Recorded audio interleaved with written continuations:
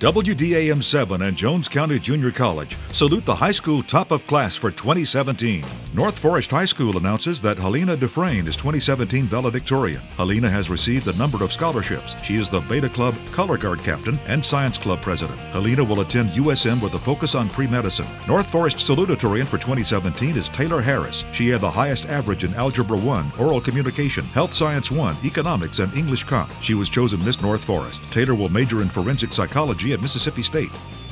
Poplarville High School is pleased to announce that Kayla Hughes is 2017 valedictorian. Kayla's high school career was highlighted with numerous awards. She served on the student council. She will attend USM majoring in elementary education. Caitlin Barber is Poplarville salutatorian. She attended the National Young Leaders Conference. She was recognized for her community service and volunteer work. Caitlin was accepted into the USM Gifted Studies program. Congratulations to the top of class 2017.